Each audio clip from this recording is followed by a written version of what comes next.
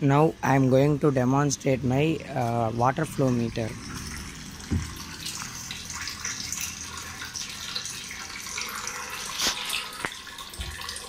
In few seconds I am going to explain how the water meter is working correctly. Just see the small red tip which is rotating.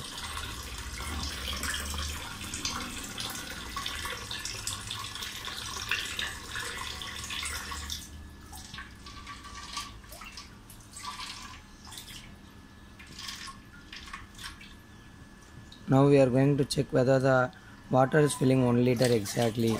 And I am using a 1000 ml bottle.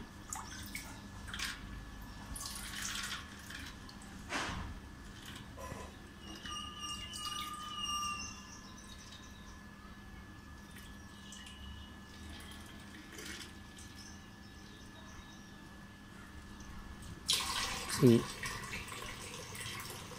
we fetched 1000 ml water exactly. The water meter is working correctly